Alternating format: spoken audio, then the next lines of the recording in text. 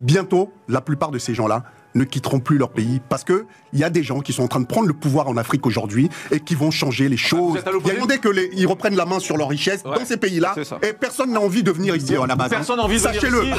Bonjour à tous et bienvenue sur Break News. Aujourd'hui, échange tendu entre Jean-Marc Morandini et Rost sur le plateau de CNews. Durant un débat sur les migrants venus d'Afrique, l'animateur controversé Jean-Marc Morandini dénonce la présence d'immigrés africains sur le territoire français. Selon lui, les Français n'ont pas à subir la présence d'étrangers sur le territoire national. Des propos d'une totale hypocrisie selon Rost, président de l'association Banlieue Active, qui n'hésite pas à recadrer Jean-Marc Morandini notamment sur la présence de la France en Afrique durant plusieurs décennies, notamment pour profiter à moindre coût des richesses que regorge le continent. Selon Rost, bientôt les Africains ne voudront plus émigrer en France et il vous explique pourquoi. Vous trouvez normal qu'on impose aux Français d'accueillir ces gens-là?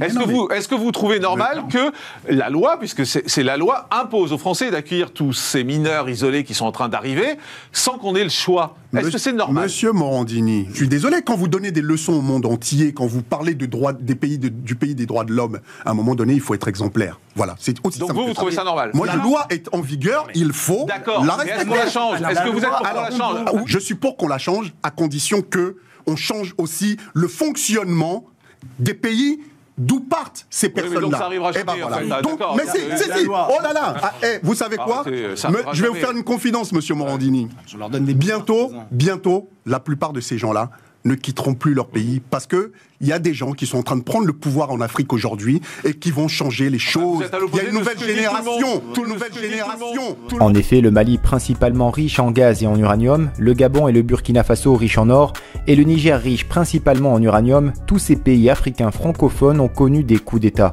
Des coups d'État qui semblent sonner la fin de la France-Afrique. Nul doute selon Rost qu'après avoir exploité les ressources au profit de leur économie, de plus en plus d'Africains renonceront à migrer vers l'Europe. Des déclarations qui ne semblent pas plaire à Morandini qui affirme que malgré les coups d'État, la France reste et restera un rêve pour tous les Africains. Attendez que les, reprennent la main sur leur richesse dans ces pays-là et personne n'a envie de venir ici à la base. Personne n'a envie de venir Sachez-le. Ah bah, la grande majorité des gens ne veulent pas venir dans ce pays. Vous vivez dans quel monde, Mais Monsieur Morandini, Monsieur Morandini, personne ne quitte son pays de gaieté de cœur. Vous abandonnez tout.